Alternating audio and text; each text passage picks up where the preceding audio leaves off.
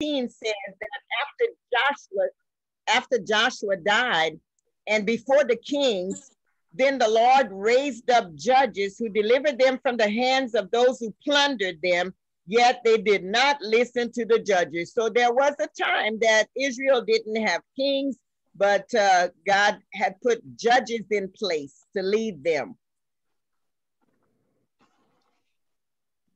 Can y'all hear me? Yes. Oh, okay, good. Um, the book of Ruth focuses on an Israelite family, the family of Elimelech. That should be L E C H, and we'll talk more about him. The author of the book of Ruth is unknown. The Jewish tradition points to Samuel as being the author of the book of Ruth. The theme of the book of Ruth is redemption. It occurs 23 times in the book, and it shows how God is working out his redemptive plan for salvation. Slide three, please. So definitions of some of the major characters in the book of Ruth. Naomi is a major character and the definitions of their names. Naomi means pleasant or fair. It means my delight. Uh, Mara is a character that Naomi gave herself. It means bitter. The Lord has dealt bitterly with me, she said. Uh, another character is Elimelech. Elimelech means my God is king. And incidentally, El, anytime you see El in a name, E-L, it's referring to God. Like El Shaddai is God is all sufficient. Elohim, God is our created. Elyon, God is most high. El Roi, God sees everything. So anytime you see El in front of a word, is referring to God. And the word Melech means king. So the definition of the name of Elimelech is my God is king. And then there are two brothers, Mahlon and, Kil- and Chilion. Chilion, yeah, the C is pronounced as a K, I'm told. Uh, the definition of Mahlon is sickly or in, invalid. In, invalid. I used to say invalid. I said, well, there's a difference between invalid and being an invalid. So, so uh, the definition of Mahlon is sickly or invalid. And the definition of Chilion is uh, wasting away. And I looked at those names, I said, wow, who would name their children sickly or invalid or wasting away? Those are not good definitions of uh, meanings of the name. So we have to be careful what, what we name our children, you know, because names, names carry a definition. I thought about the book of Hosea when God told Hosea to go ahead and marry that prostitute, and then she had three children, and God named those children. He named them Jezreel and Loruhamah and Loammi. And God was prophesying through those names of those children that he was going to get the house of Jehu back because of what they did in Jezreel, and that he would have no compassion on Israel, and that at one time they will not be his people anymore. So God told Hosea to name those people that. So I wondered, I wondered who told Elimelech and Naomi to name them boys sickly and invalid and waste and wasting away. So another character is Ruth herself. Her name means friend or friendship. And uh, there's Orpah, the sister-in-law. Her name means back of the neck or stiff neck, a fawn, a doe. It also means turn and walk away. And you'll see how the definitions of these characters play out in the story of Ruth. The definition of Boaz is strength and God fearing. And then, of course, he'll have a son named Obed, and, and Obed means servant of the Lord. I think I think Boaz knew what he was doing when he named his son servant of the Lord. And then I added one, Tov, T O V, uh, who is the uh, uh, brother of Elimelech. And if you see on this particular screen, it says Naomi represents the house of Judah and Ruth represents the house of Israel. I'm going to talk a little bit more about that as we uh, as we get into it. But just to whet your appetite, after Solomon, uh, the nation of Israel was divided into two houses, and that's in the books of First Kings and Second Kings. And they were divided into the house of Judah and the house of Israel. So in this story, and remember, I'm teaching from a Hebraic perspective. In this story, the Hebrew thought is that Naomi represents one of those houses and, and Ruth represents the other house. Slide four, please. We continue with definitions. we're going to talk about a kinsman redeemer. What is a kinsman redeemer? In Hebrew, the word is goel, and it means redeemer. It's someone, usually the nearest relative, who is charged with the duty of restoring the rights of another and avenging his wrongs in exchange for something. And there are three, uh, it says two, but it should be three, three main responsibilities of a kinsman redeemer. One, to redeem the family property that had been changed, that had changed ownership. In other words, a kinsman redeemer could buy back property of a family member or a relative.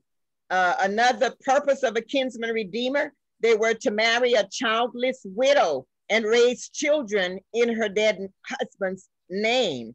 And then uh, uh, the kinsman redeemer had the right or the responsibility to redeem or purchase back a relative who had been sold into slavery. Now, why is that important? It's important that we know all of this before we start reading Ruth. If we don't know what a kinsman redeemer is, if we don't know what the names of those people uh, represent, if we don't know some of the stuff that we've already looked at, that, that Ruth is going to be related to uh, King David and all of that, you know, just helps us to understand the story better. And then there's such a thing called the Levirate law. Uh, it comes from the Latin word levir, meaning husband's brother. A widow should marry her dead husband's brother to prevent loss of property by marrying outside the clan.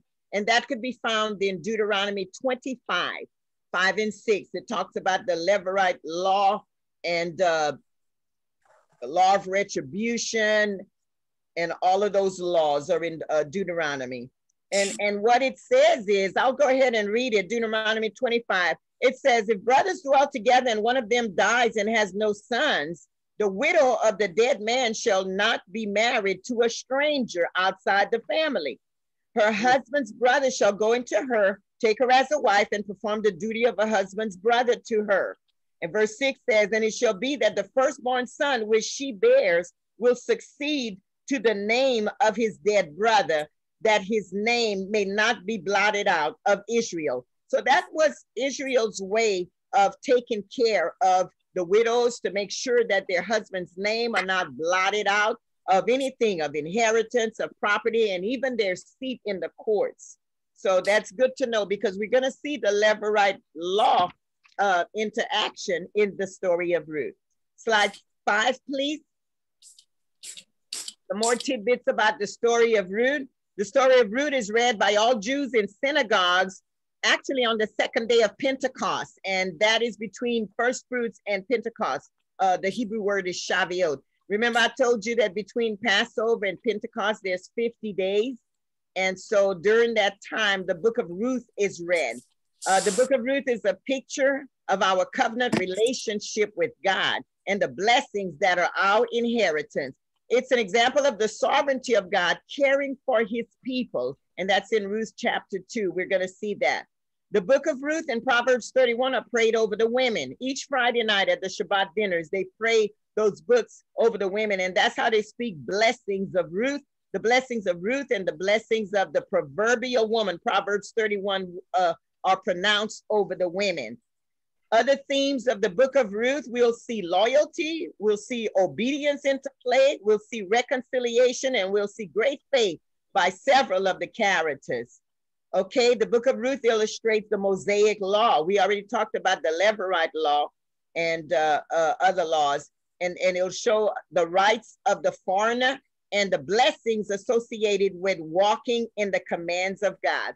And I added two more. The story of Ruth is a picture of the Gentiles leaving their pagan gods to return to the God of Israel, the God of Abraham, Isaac, and Jacob. Uh, remember, Ruth said, Your people will be my people and your God will be my God. And we'll see how that pans out in the story. The book of Ruth also shows in the genealogy that the Gentile blood was in the line of the one who became the savior of all mankind. And who is that? Jesus Christ, our Messiah. Uh, slide number six, please. Okay, this is an overview. The Moabites, the Moabites were closely related to the Israelites through the incestuous relationship between Lot, Abraham's nephew, and his eldest daughter. Remember when God was going to burn down Sodom and Gomorrah, and and uh, Abraham had pleaded with him, and Lot, uh, Lot lived in that area, and God spared Lot because of the prayers and the cry of Abraham, so they were able to get out of there. Well, after he got out of there, his wife in, uh, turned into a pillar of salt. So he and his two daughters made it out of there. And then the Bible tells us in Genesis 19 that Lot's oldest daughter bore him a son and his name was Moab, and he's the father of the Moabites. And then Lot's youngest daughter also bore him a son, and he was the father of the Ammonites. And those nations were at war with Israel. They were all, there was always contention. You know, if you don't lay the foundation right, expect some problems in the future. If, if a foundation is not based on God's teachings and instructions, expect that there's going to be cracks later on down the line. So the Moabites and the Ammonites, which were the descendants of Lot, they were always in, at, at, in odds with the children of Israel. And then there was the king of Moab. His name is King Eglon. He ruled over the Israelites for 18 years. Uh, that's in the book of Judges. That's a long time to succumb to the, the tyranny of another nation. So the god of Moab was Chemosh, and the children were used as burnt offerings, which in the book of Leviticus, God forbid that. He forbid the use of children to be used as burnt offerings and to offer the blood of these children to these idol gods. So all of this is saying Moab was not a Christian nation. You know, the foundation of Moab was rocky from the beginning and uh, it remained rocky. So according to le, uh, uh, legend and le, uh, rabbinical literature, which is called the Targum, Ruth was the daughter of the Moabite king, Eglon.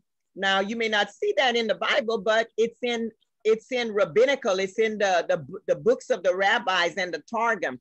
And uh, you all, I want you all to know that, you know, this is public knowledge too. They've made it, I've said that before, they've made it easy for us. A lot of people have done a lot of research and a lot of studyings and written a lot of books. And now you can just go on Google and find what you're looking for. But I'm gonna caution you, whatever you find on Google, you better double check it with the Holy Spirit and double check it with the Bible. but according to rabbinical literature, Ruth was the daughter of the Moabite king, King Eglon. So what does that tell us of Ruth already? She wasn't a poor girl, you know, she was the daughter of a king. She was royalty, like, like Queen Esther had become, but she was, she was royalty.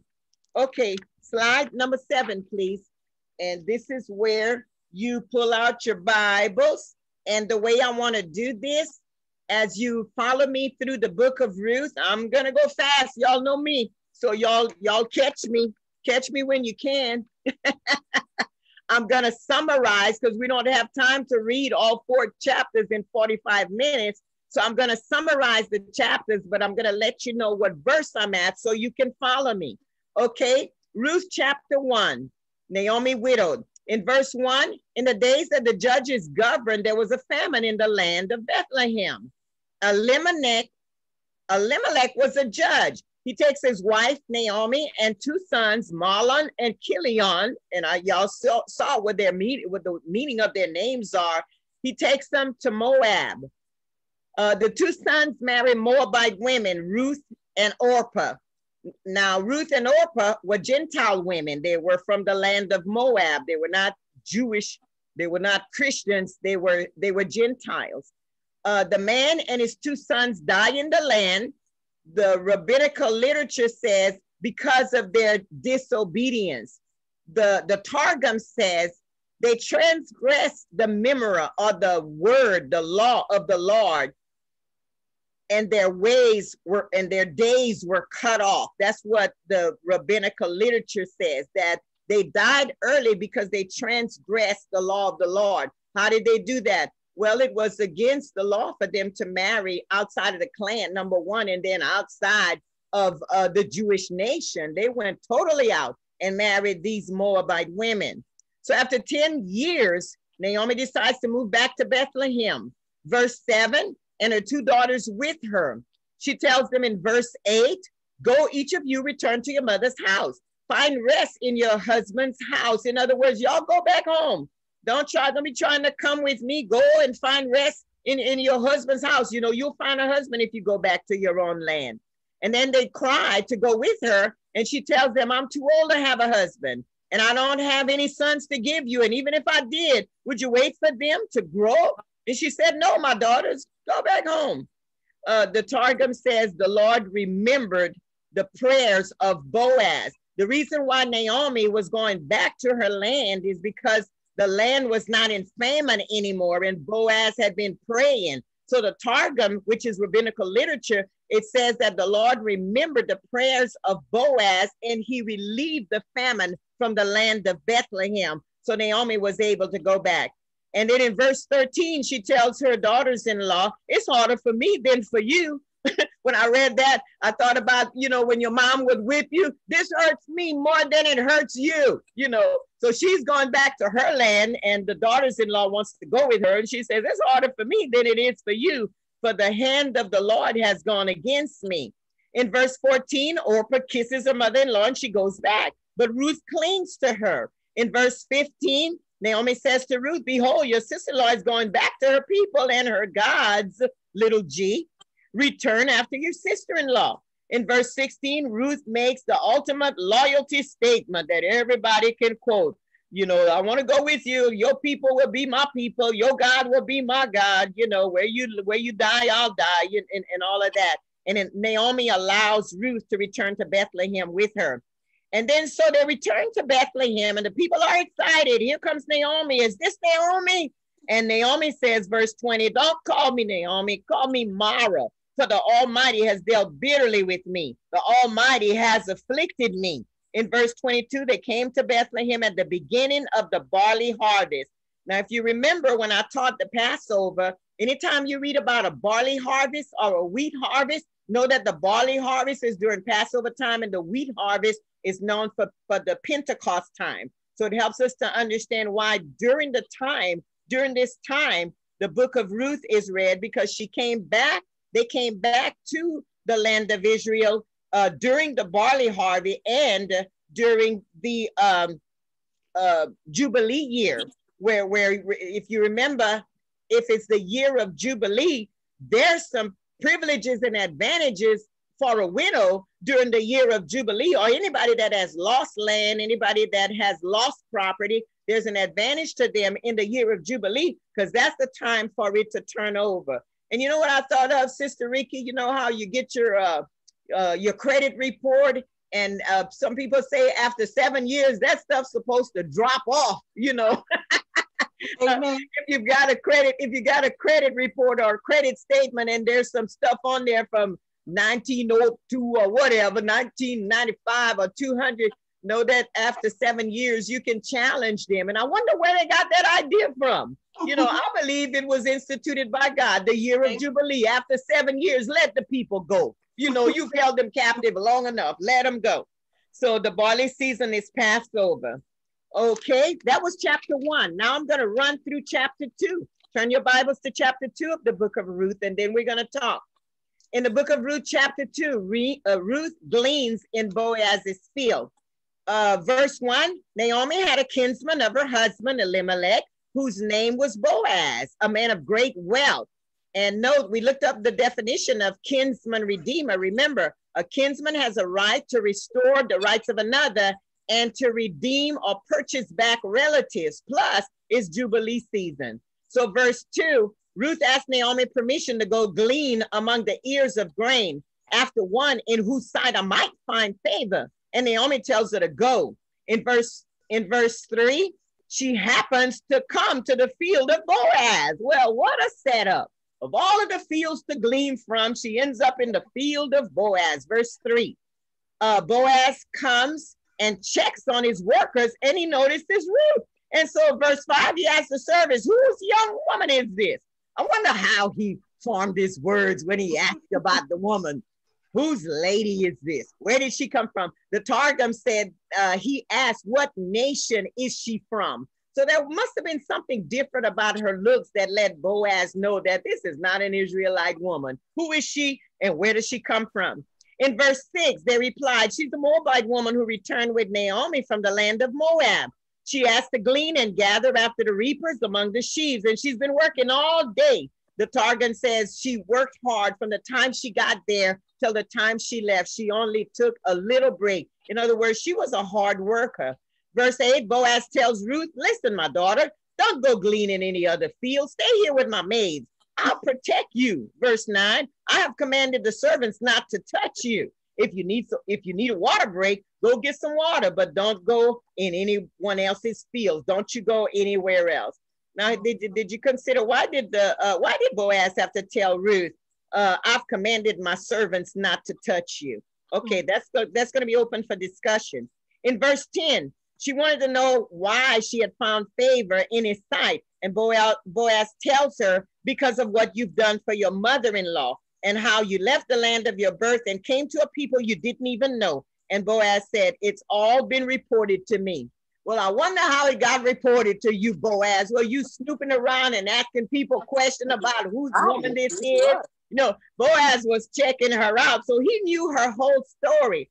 And uh, the Targum says that after Elimelech and Chilion and Mahlon, the, the, the man and the two sons died, Ruth and Orpah actually took Naomi in and they took care of her. They cared for her. So Boaz had the whole scoop. He knew the whole story of how they took care of her because she's a widow.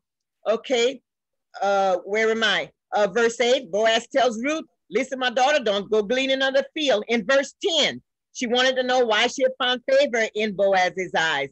And Boaz said, Oh, girl, I heard all about you. I already peeped you out. It's been reported to me. You know, in verse 14, he invites her to dinner, hey, with the reapers. And he, the Bible says, and he served her. Do y'all see that? Verse 14. And then in verse 15, he tells the reapers to let her continue to work. In fact, purposely pull out for her some grain from the bundles and leave it so that she may glean and do not rebuke her.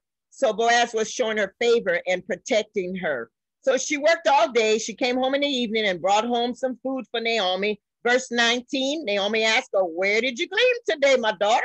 And she says, In the field of Boaz. Naomi says, Ah, y'all see that in your Bible? Ah. so Naomi says, Ah, the man is our relative. He is our closest relative. And so Ruth says, Furthermore, he told me to stay close to his servants until they have fin- finished the harvest. And so Naomi tells her, You do just that. Stick with his maids so that others don't fall upon you. Do y'all see that in verse 22? Mm-hmm. So that others don't fall upon you in any field. So in verse 23, so she stayed with the workers of Boaz until the end of the barley and the wheat uh, harvest. So she worked through the Passover and through the Pentecost season. Okay, let's talk. Uh, we're gonna talk. Uh, we're gonna dialogue a little bit. Uh, let me. I'm gonna give y'all five to seven minutes to talk about chapter one and talk about chapter two. What do you see in the characters uh, that we've talked about so far? What do you think about Elimelech's Elimelech's decision to leave and to go to uh, Moab? What do you think about Naomi's leading and guidance of the uh, of uh, of Ruth? Just just just let's talk. Who has a thought? I know y'all have thoughts. Y'all always have thoughts.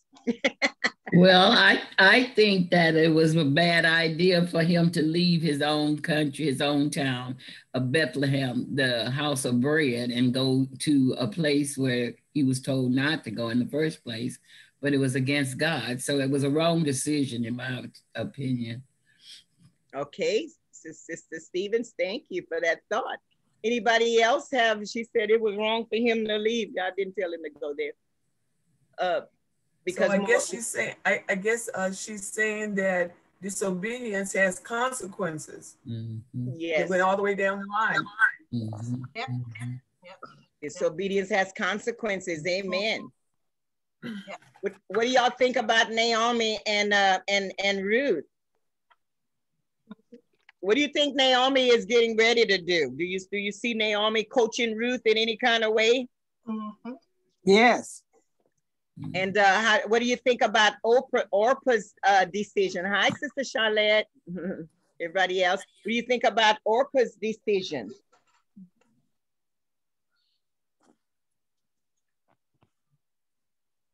Amen. I don't have any thoughts about Orpah, uh, uh, Sister Mary Jane. Um, well, I think Naomi must have been a very, maybe she, to me, she was a kind mother-in-law mm-hmm. For Ruth to want to continue taking care of her and going with her.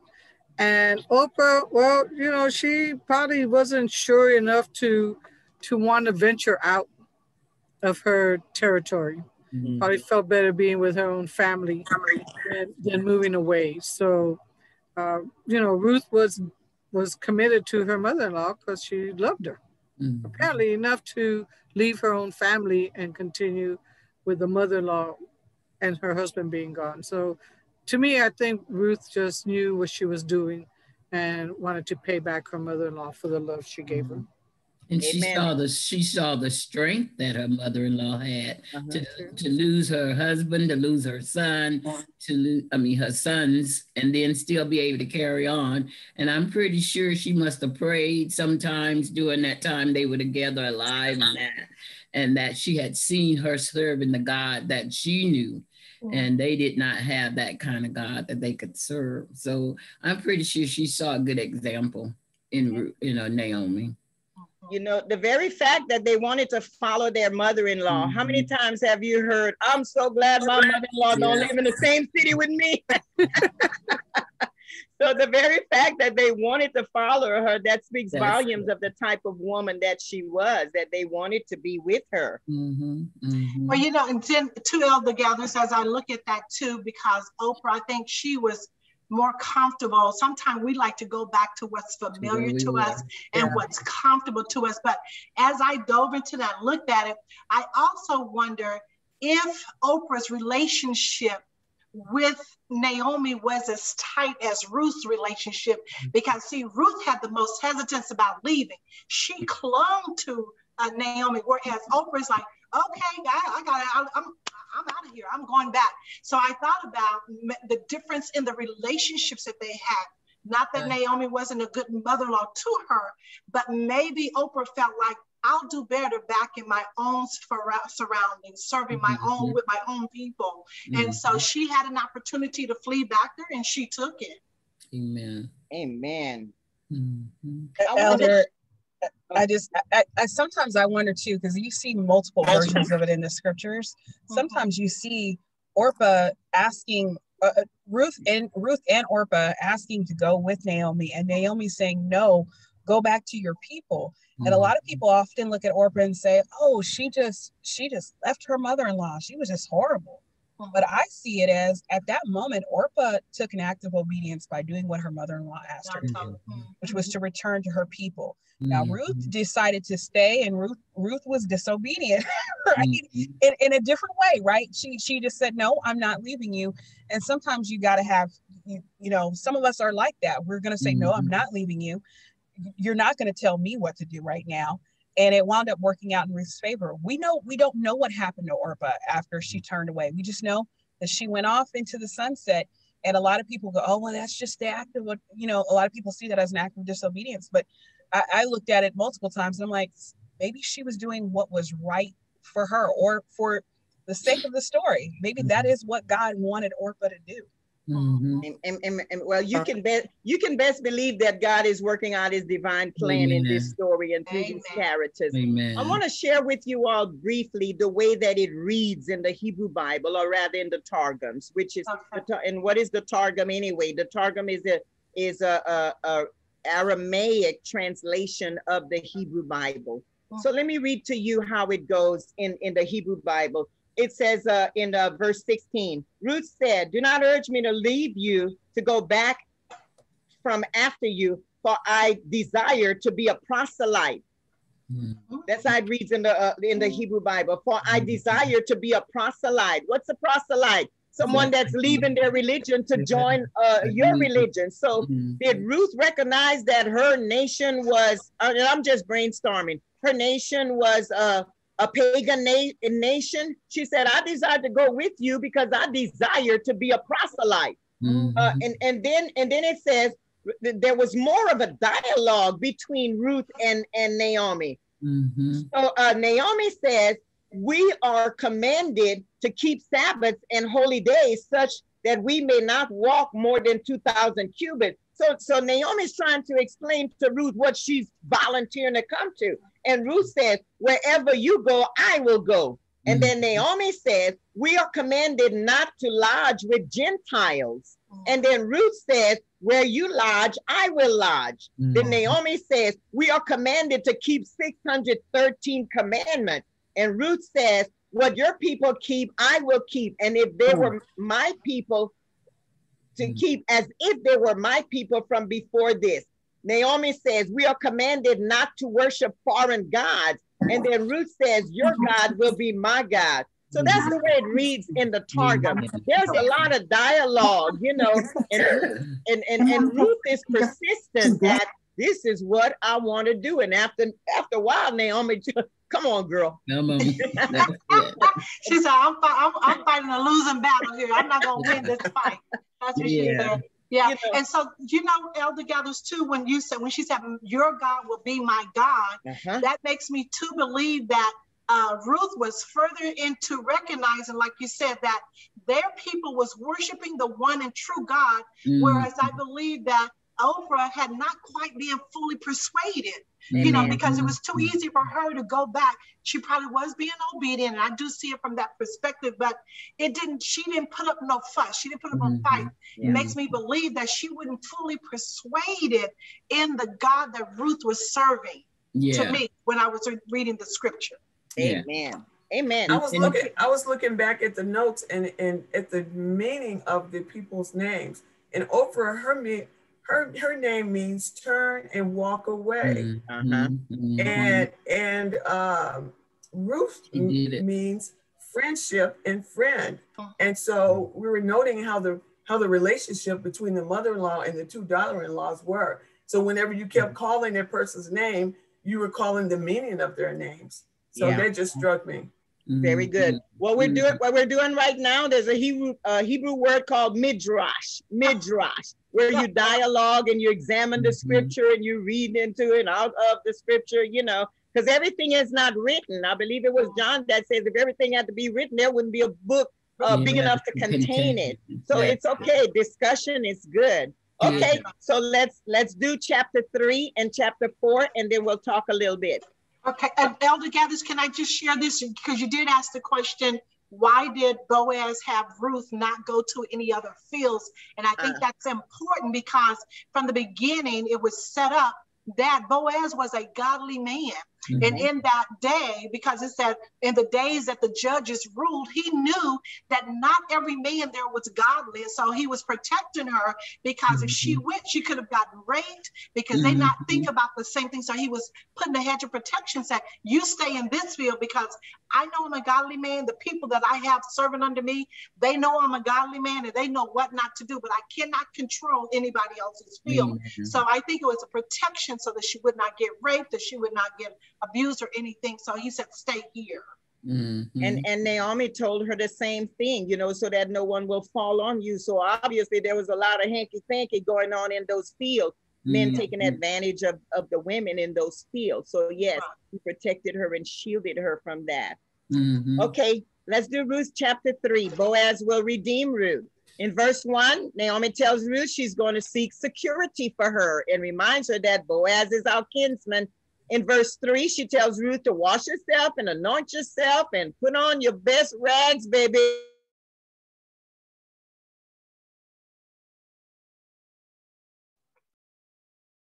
Everybody is muted. We need to unmute Elder Gathers.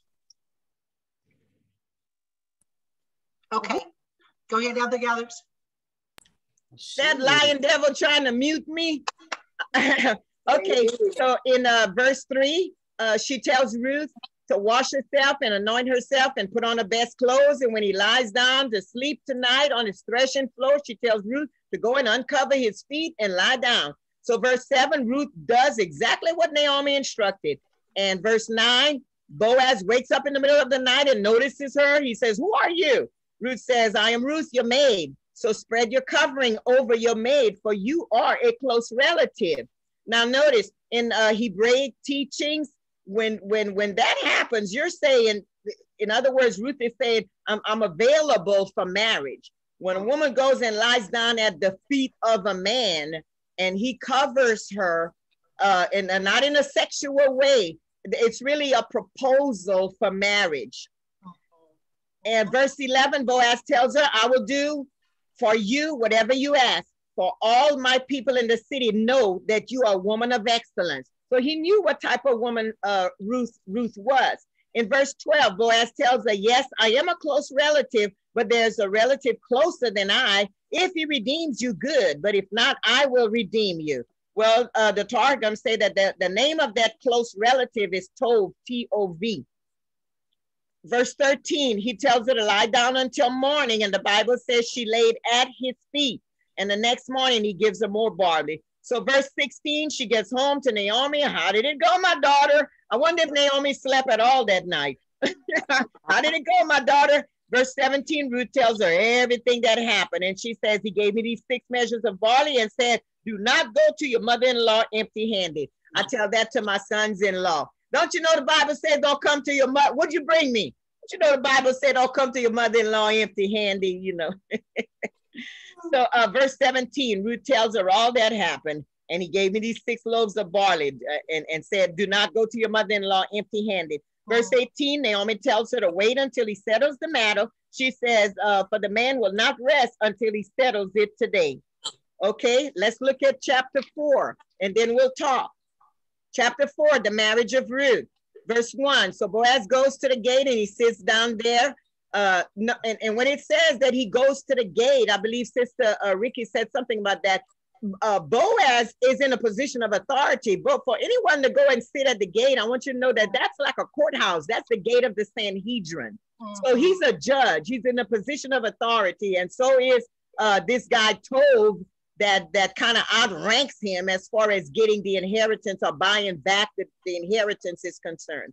So in verse two, he took ten men of the elders of the city, and remember when we studied numbers, numerology, uh, the number 10 is completeness and divine order. The number 10 also means perfection.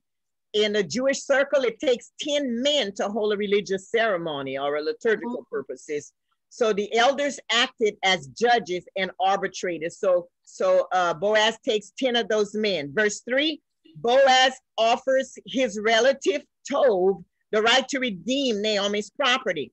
Naomi, who has come back from Moab, has a has to sell a piece of land which belonged to our brother Elimelech. Now, uh, my Bible says Naomi has to sell a piece of land. Some Bible says uh, Naomi is selling a piece of land. And then some of the commentary says Naomi has sold a piece of land. But anyway, the land had belonged to Naomi and her sons and the land, and it's the year of Jubilee but it's not in, in Naomi's hands because she's uh, you know she's a she's a widow, so the land is not in her hands. Oh. So verse three, Bo- Boaz offers his relative Tov the right to redeem Naomi's property. Naomi, who has come back from Moab, has to sell a piece of land which belonged to our brother Elimelech. Um, she, uh, the rabbinical literature said she had sold the property while she was in poverty. However, since it's a jubilee year, her property could be bought back according to the Mosaic law. And that Mosaic law, the law of redemption, is in Leviticus 25. Verse 4, the relative says, I will redeem it. Verse 5, Boaz throws a curveball on him. He says, On the day that you buy the land, you also acquire Ruth to raise up the name of the deceased. Her, her deceased husband was Mahlon on his inheritance. And verse 6, the relative declines. I can't do that. I will jeopardize my own inheritance. Redeem it yourself. So he takes this sandal law as confirmation. In, in, in, in Hebrew school of thought, when a person takes his sandals off and hands it to you, or if they take the right glove off their hand and, and, and hand it to you, uh, it's confirmation that what what they're saying it's like pinky finger pinky swear you know how we used to do when we were kids pinky swear that means my word is truth, my word is bond. I stand by my, my, my word. I'm confirming my, my oath to you. I'm confirming my word to you. So um, verse nine, Boaz tells the elders, you are my witnesses. He doesn't want it. He doesn't want it. So I've bought it from Naomi. All that belonged to Elimelech and all that belonged to Chilion and Mahlon. Verse 10, moreover, I have acquired Ruth the Moabitess, the widow of Mahlon, to be my wife in order to raise up the name of the deceased on his inheritance. You are my witnesses, so that the name of the dead will not be cut off. Verse 11 and 12, the elders pronounced blessings on Ruth, the blessings of Rachel and Leah, both of whom built the house of Israel. They pronounced blessings on the house of Boaz and Ruth and their future offspring. In verse 13, Bo, uh, Bo, we see that Boaz married Ruth and she conceived and had a son, Obed, and Naomi gets to be the nanny. Uh, uh the, you know, the Hebrew Bible actually said, and Naomi, became the nanny. I said, well, y'all were using that word then. Okay. so, so uh, they pronounce blessings on Naomi. The women pronounce blessings on Naomi as well. In verse 16, the line of David begins. Obed was the father of Jesse, Jesse the father of David. Uh, that's in Matthew chapter 1, also the genealogy. 14 generations later, from the lineage of David, who do we get? Christ our King, the Messiah. Mm. Okay, let's talk about chapter 3 and 4. What are your thoughts? Uh, is uh, Boaz, first of all, let me just bring out that according to Jewish law, Boaz couldn't just arbitrarily buy the land because uh, Tov and the rabbinical literature tells us that Elimelech and Tov and Boaz's father, Salmon, S-A-L-M-O-N, those three were brothers. So, so Tov, the kinsman redeemer, he was next in line mm-hmm. because Boaz would have been a nephew, whereas Tov is a brother mm-hmm. to Elimelech. So mm-hmm. so Tov had the right first. He had to go through Tov in it before he can purchase the land. Mm-hmm. So uh, what do you think about Tov? You know, at first when Boaz says, you know, you can purchase the land because you're next in line, and Tov said, I'll buy the land. And then Boaz said, uh, uh, Boaz says, well, you have to acquire uh, Naomi and Ruth also. And Tov says, I don't want the land. what can y'all midrash and and and and talk about what's going on here? What's what's what's going on here? Yeah.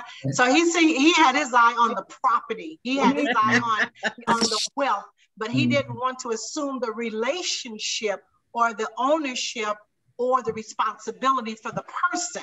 He was just looking at that personal gain at that mm-hmm. time. Mm-hmm. And he missed a real blessing yeah. because the blessing was in the women themselves. And you know, it's just sometimes we look at we we look at some things and we we forget to look at others and we miss out on what we really should have been looking at. So I think that was a mistake on his part. Yeah. Now, now, uh, let me just speculate for a little while. If he was to purchase the land and he's thinking I'm going to get Naomi. I'm okay with that because Naomi can't have no children. Mm-hmm. Remember, she told her daughters in law, I can't even mm-hmm. have children anymore. So if he was okay with purchasing the land and getting mm-hmm. Naomi, yeah, knowing that Naomi couldn't have any children, because what happens, what happens to the land? Let's just say Naomi could have children and he mm-hmm. purchased the land and got Naomi. Whose land, whose property would, uh, who, whose property would it be? It didn't go to the Naomi's children. It would go to the children. It wouldn't be his yeah. because the name of, of, of, of, of the husband, Elimelech, had to be mm-hmm. preserved. And not mm-hmm. only did the name have to be preserved, the seat at the gate with the Sanhedrin, the seat among the judges, would mm-hmm. fall to Naomi's children. But in this case, Naomi cannot have any children. So when he finds out, so Boaz, Boaz whips out uh, Deuteronomy 25 on him. It's not just mm-hmm. about Naomi. You got to acquire Ruth too, because Ruth's two sons. Remember, the land belongs to Elimelech, and it goes down to the two sons. But the mm-hmm. two sons are dead, but the mm-hmm. wives are not dead. So yeah. if the so if so now Tov is seeing if he marries Ruth, then what happens if Ruth has children? Mm-hmm. Right. everything everything goes to the children. That's where he lost the blessing because he lost the lineage that could lead to the King of Kings who owned it all. And that's what I was saying about his missing the blessing because when when Ruth had the children, those children, that boy Obed led to the lineage of Jesus Christ. You know, and so he missed out on the really great blessing. Okay, uh, the the uh, rabbinical literature also says that Boaz knew the character of Tov. Mm-hmm. Yes. Tov was not the fairest of 10,000. You know, he, he, he wasn't a Boaz. Boaz was a, a rich man. Let's talk about Boaz being a rich man. Yeah. Why didn't Boaz care that if Ruth had children, the land would go to Ruth's children? Because he had it already. He had he was already wealthy. Yeah, he already. And and here's another thing that Tov wasn't looking at, and it shows the selfishness of Tov, in my mm-hmm. opinion. Boaz can easily say, "So what if the land goes to Ruth's children?" Mm-hmm. Because guess what? Ruth's children are what? Are my children. Family. Yeah, that's it. So, so it shows the selfishness of Tov, and that he was okay with buying the land. And then Tov says, I cannot buy that land because it's going to mess up my inheritance. Mm-hmm. How, do, how do you how do you think it would mess up his inheritance? Well, well, well let, let me tell you what the Targum says, because the Targum says more than our Bible says. The Targum says that Tov said, I already have a wife mm. and, and, and, and, and, and, and children. And if I bring another wife into the equation and have to give that wife the inheritance, that's going to mess up what I already have. Mm-hmm. And the Targum says he told Boaz, You marry her. You don't even have a wife. so, so Boaz was not only rich, Boaz was a godly man, Boaz was a praying man, Boaz sat among uh, the, the, the, the court of government, the seat of government. And Boaz was not selfish because, like Sister Ricky said, he already had his. Mm-hmm. He already had his. So it didn't matter to him that if he married Ruth and Ruth had children, that the property and the land and then even the name of Mahlon would be preserved. Mm-hmm. Yeah. Elder Gathers. Yes, um, ma'am. I love that you brought up the Targum and the, the dialogue that happens because that's what we see in the movies when they do the Bible movies. And there's there's this one part, I can't remember which title film it is, but there is that one part where where Boaz tells Ruth before before any of this happens, he tells her not to go in the fields, just like we were talking about earlier. But he mm-hmm. specifically tells her not to go into Tov's fields. Mm-hmm. Uh-huh. At one point in the movies, it, it, I can't remember which movie it was, long time ago to me, and he specifically tells her not to go into his fields because there's just something not right about what's going on over there. And then the part where the part where they get into the conversation about who's going to get to marry, you know, who gets to marry Ruth, the the it's sort of like Tov says, but if I have, but if her, but if her heirs are not my heirs, then whose heirs are they? Mm-hmm. He's like, he's confused. He also does not know the law. Mm-hmm. He just he's getting all of this broken down to him by the Sanhedrin. And he's like, oh no, but he had already had his eye on the property that belonged to Elimelech. And he was trying to figure out, and he, in, in the movie, he's like sneaking around trying to figure out how he can purchase it. And yeah. this whole situation with Ruth just happens to work out in Boaz's favor because mm-hmm. she likes him. Yeah. He likes her. Mm-hmm. And it's going to work out versus what Tov was, was going to try to do, which was Naomi's in dire straits. Let me buy the property for, from her and then she can become my servant. That's mm-hmm. what Tov was trying to Mm-hmm. well, I didn't see the movie, Sister Charlotte, but I know one thing about movies. If they can't figure it out by reading the Bible, they'll make stuff up and they'll they'll fill in the gaps. You know, yeah. there's a gap. If if there's a gap, they'll fill it. Mm-hmm. yeah, it's just really weird that the the speculation that goes into that really makes you wonder what was this guy's real motivation, oh, and uh-huh. and I saw that I was like that when you were bringing the the the conversation up earlier, that dialogue that's missing. I'm like, I wonder if that's where they got it from. Anyway. Yeah. well, thanks, Charlotte, for that for, for those thoughts. So, um, well, anybody else have any thoughts on chapter three and four? I was going to add, you know, with the chapter three, I love the way that the premises is already being set up, and um, it, it, this the analogy of it because not only was it talking about Ruth, especially in verse three, there are mm. three things that is very significant, and that is wash yourself. mm-hmm. meaning that she's going to get herself cleaned up. All right? mm-hmm. anoint yourself. Mm-hmm. And then the, the, the last one is put on your best Let clothes. Me, look, so, go on over there and sit in the chair. Okay, so the three things that's talking about Ruth there, that's our relationship with God. We have to get ourselves in a position to be presented. We can't we can't hear you. Can't hear you. Something's up with your mic, Sister Ricky. Open too, that is uh, kind of interfering. Can you hear me now? Yes, yes, we can. Okay, awesome. So I'll just kind of repeat. I said there's three things that are happening in verse number three that I think sets the whole premise of what's going to transpire all the way through uh, chapter four, and that is wash yourself. That's the first thing that Ruth had to do. And mm-hmm. then anoint herself, mm-hmm. meaning enabling yourself to be ready to be received in the Holy Spirit. But Naomi was telling her that so she could be received by Boaz. And then put on your best clothes. When we go before the Lord, we need to be dressed pretty for the Lord, not just mm-hmm. into, into his presence any kind of way. And so that because the eye is the thing that pleases us, that's what draws us in.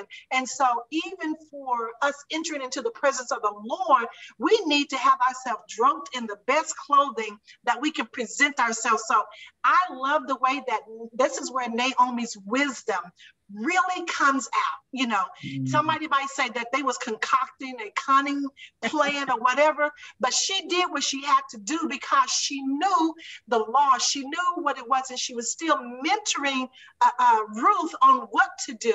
And so when she told her those things in the in verse three, I thought that that was the most. Uh, it, it, really spoke to my spirit because mm-hmm. I'm saying not only is she mentoring her to do that, but that's what the Lord is telling us that we need to do mm-hmm. in order to be in His presence so that we can reap those rewards and benefits just like Ruth did from Boaz. Mm-hmm. Amen. And Amen. I like what happened uh, with Ruth, I mean, with Naomi, and how she was turned from that now bitter woman she was turned into that blessed woman who life is restored to by hope. And She said in four, I think it's in 14 that she said that God has restored life to me. And oh. now I have this son, you know, and I can uh, be happy again. I can be the the Naomi that I was made to be, that that one that was joyous. Amen. I, I, believe, and that's why some people say the story should be about Naomi. Well, it is about Naomi, but it's yeah. also it's also about Ruth because yeah. as we said in the beginning the story is all about loyalty and obedience too yes. Uh, what if ruth had not listened to naomi and mm-hmm. naomi knew even though through the whole story there's really no conversation there's not there's not even sight of mm-hmm. naomi uh, and boaz the, mm-hmm. uh, you know in the mm-hmm. story naomi doesn't see boaz and, and, and doesn't speak with him, but she knows who he is mm-hmm. because when, when when Ruth mentioned his name, she said, "Hey, he's he's he's he's a cousin." He's a he's a mm-hmm. kinsman. He's a kinsman redeemer. Yeah. Re- Ruth is uh, Naomi is thinking redemption, redeemer all the time. Mm-hmm. Okay, okay, so um, go to the next slide. Let's go back to our slides, uh, Sister Deidre. They gave me an extra day, but I'm gonna switch. I'm gonna give raise. I'm gonna leave. Something so I can get up out of here. Hey, I was doing a decent job in Florida. There is a gentleman that has his mic open. Probably we need to close it. He's the one doing the doing the slides. That better not be my brother. okay, so uh, conclusion, conclusion, the story of Ruth, a Hebraic perspective. Oh, okay, think about all that we said about the story of Ruth uh, Sister Deidre, can everybody mute their mics right now, please? Because I'm, I'm hearing a lot. I'm hearing a lot of talking. So um, Boaz is a type and shadow of Jesus Christ. This is where we get into Hebraic school. Boaz is a type and shadow of Jesus Christ. And how is that? He covered uh, Ruth like like Jesus covers uh, covers us with his blood.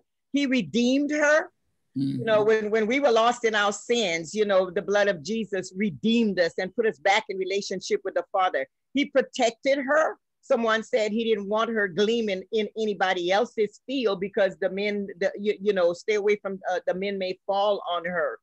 Um, He paid the price. Uh, Boaz paid the price to purchase the, the, the, the forfeited inheritance, just like Jesus paid the price to buy us back to God. So uh, they say that Boaz is a type and shadow of Jesus Christ. Naomi is a type and shadow of the house of Judah, while Ruth is a type and shadow of the house of Israel. Now we don't have time to go into all of that, but if you read Second Kings, uh, First and Second Kings, you'll see how the two houses of Israel were, were, were divided with Israel in the northern kingdom and Judah in the southern uh, kingdom. So Naomi is a type and shadow of the house of Judah and the Holy Spirit. The, the house of Judah because she was she was a, a native Israelite. Uh, and of the Holy Spirit because we've all talked about how she led Ruth, how she taught Ruth, uh, teaching and instruction. She instructed Ruth, how she guided Ruth. You know, uh, uh, we, you, you, know, she she did that thing. She led she led Ruth. Like the Holy Spirit leads us into things that are better for us, not into destruction, not into uh, uh, destruction, but He leads us uh, in, in, into better ways and better things. Now, how is uh, Ruth a type and shadow of the house of Israel? Because uh, it, uh, uh, the house of Israel is the one, the uh, northern house. Israel is the northern house, Judah is the southern house. Israel, the northern house, is the one that went into captivity under the Assyrians. And, and this will take another lesson. That's where the 10 lost tribes were. Well, Ruth is not uh, an Israelite. Ruth is uh, a, was a Gentile from the land of uh, Moab, but she comes in to the Torah or the teaching and the instruction. I'm still on the side. Thank you. Uh, she comes in on the teaching and the instruction of, of, of Naomi, who, who is an example of the Holy Spirit. You're gonna have to chew on that a while for it to make sense. Uh, write down also Ezekiel 37, the valley of dry bones, and Ezekiel uh, uh, 37, it, it, speaks of the union of the house of Judah and the house of Israel. Hebrews 8 and 8 talks about the covenant with both houses, the house of Israel and the house of, of, of, uh, of, of Judah. So these two houses have come together, the house of Israel and the house of Judah. Ruth and Naomi have come together to make uh, what the Bible refers to as one new man, as one house, as one house. It says Oprah is a type and shadow of the Gentile church that'll turn its back on Israel and the God of Abraham, Isaac, and Jacob in the last days. Moab is a type and shadow of Egypt. So Egypt is anything outside of the realm of the blessings. If you're not under the rim of the blessings, then you're in Egypt. And Moab was a type and shadow of Egypt.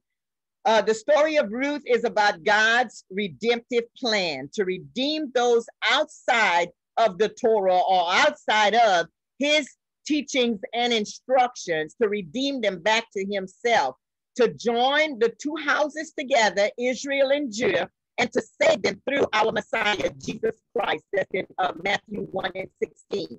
So the story of Ruth is about the redemptive plan of God, how he takes two houses, Judah and Israel, and brings them back together. And, uh, and they're all going to be under the, the, the leadership of, they're all going to be saved under the Messiah, Jesus Christ. Tov, the one that wouldn't buy the land, I added him to the list, is the type and shadow of the Antichrist he, uh, he will sit at the gate. The, the Antichrist will sit at the gate of authority and pretend to care. He'll pretend to be a redeemer, but he really isn't one. So they say he's a type and shadow of, of uh, the Antichrist. So in conclusion, the genealogy of Jesus is the whole house of Jacob. And anytime you read in the Bible about the house of Jacob, it's referred to the house of Israel and the house of Judah coming together as one. When they come together as one, then they are the house of Jacob. The Jews under Boaz and the Gentiles under Ruth coming together as one, and it's through their lineage that our Messiah comes. Next slide. The end. I know that last slide might have been a little bit to chew off of, but uh, study it. Uh, if you read Second Kings and, and uh, uh, the, the, books of uh, First and Second Kings, you'll see all of the history about the two houses, how they were separated, and how it was always in God's redemption. You can remove that slide, Sister Deidre.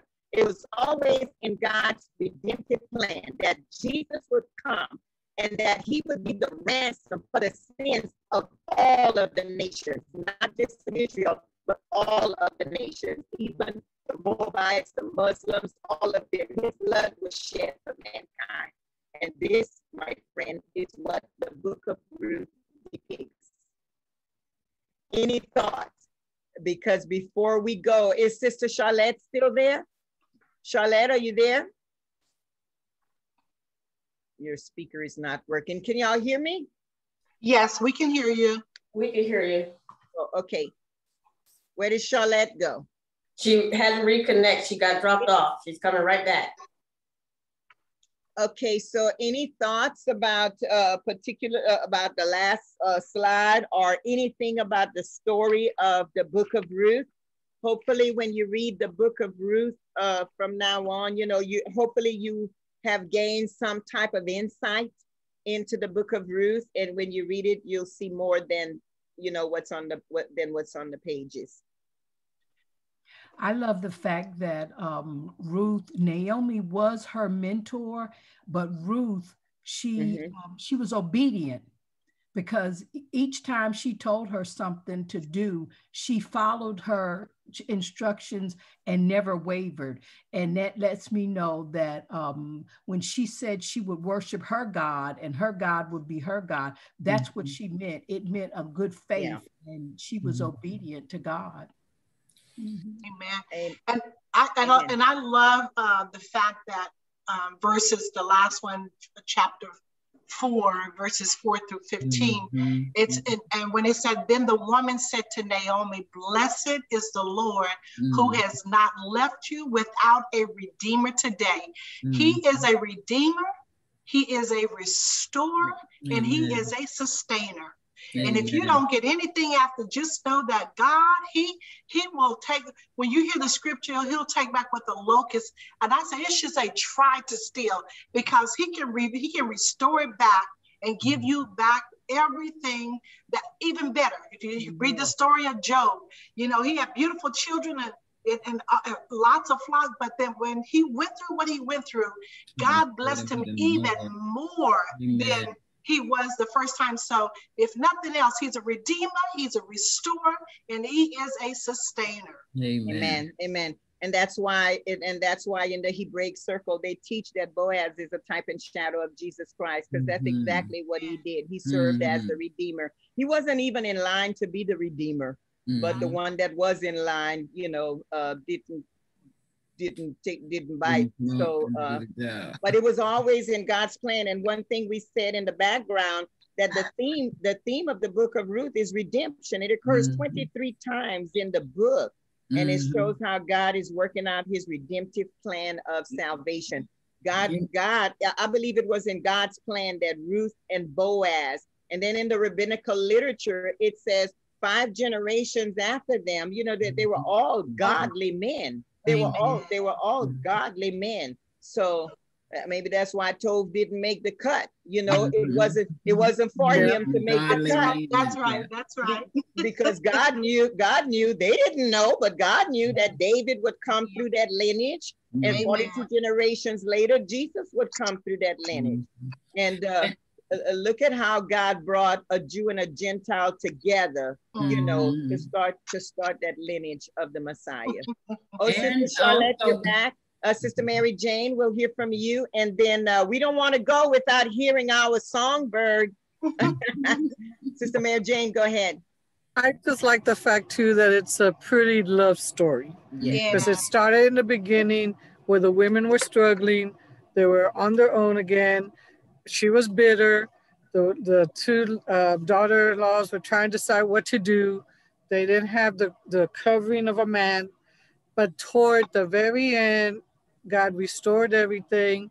We know he's our covering. We know Amen. that. Amen. But it's great to have that physical man also covering and putting up, uh, uh, like you said, somebody cut the yard, somebody to do this. It's nice to have that. Um, so, and then the fact that Naomi at the end was happy, no longer bitter, no yes. longer feeling bad and mm-hmm. holding her little baby and just yes. her grandchild really yes. and just having that peace and who can give us that peace but the Lord. So it's a good it's a good story. Amen. Well, we're gonna uh, turn it over. I'm not the host, but where you at, host? We're gonna turn. Go ahead. Uh, I'm here. Can you all hear me? I just, I'm sorry. I just, I just got these headphones working again. Um, oh, awesome. Praise the Lord. Uh, this is a little song that I absolutely love called You Know My Name, Tasha Cobbs. Mm. Uh, Leonard has this song, and it just sounds like something I would have grown up, that I grew up on. So uh, that just blesses you like it blesses me. It's my personal song with the Lord.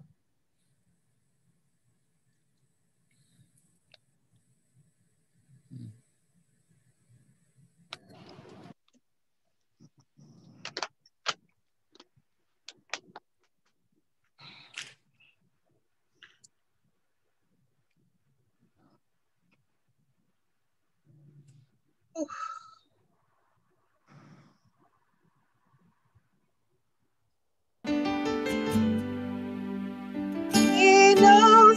knows my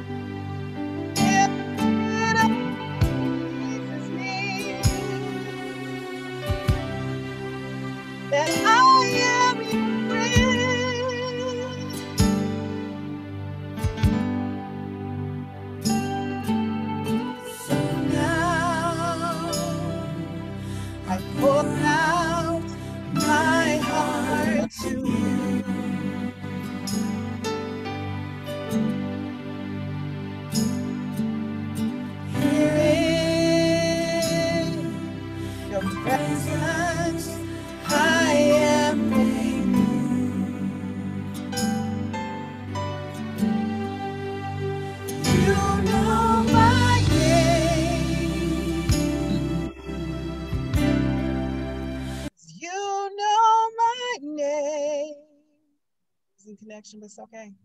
Thank you, Lord. You know my name. Mhm. You know my name. Hallelujah. Hallelujah. Oh, how you walk with me. Mhm. Oh, how you talk with me. Oh, how you tell me that I am your own. That's the song that I thought I would share with Hallelujah. you all today. Thank you, Lord. because of because when you said you were coming, Hallelujah. I thought about how the Holy Spirit is a counselor and how God guided through Naomi and that type and shadow of the Holy Spirit. That song just Amen. always back there. So. Amen. Thank you. Amen. Share that link for everyone, the original Amen. song, so that you can have Amen. that in your um, in your in your your quiet time with the Lord. It's a beautiful song. Thank you, Jesus. Mm-hmm. Thank you, Lord. Well, amen. Amen. Let's uh, give Sister Charlotte a, a hand praise. Amen. Let's give give Sister Charlotte a hand praise for being with us today. Amen. And for bringing that beautiful song. You know beautiful. my name. He sure mm. does. Thank you for inviting me. I appreciate that. That Oh, you're welcome. Um, uh, I have your email address now, Sister Charlotte. You're gonna get it. You're gonna get invited to all. We meet every two Saturdays. Yeah, yeah, every every other Saturday we meet, unless it's a holiday, and we let you all know in advance. Mm-hmm. Uh, Sister Ricky, you want to tell them again, because uh, some of them have not logged on yet, what the next session is? Absolutely. The next session is going to be on June the 20th.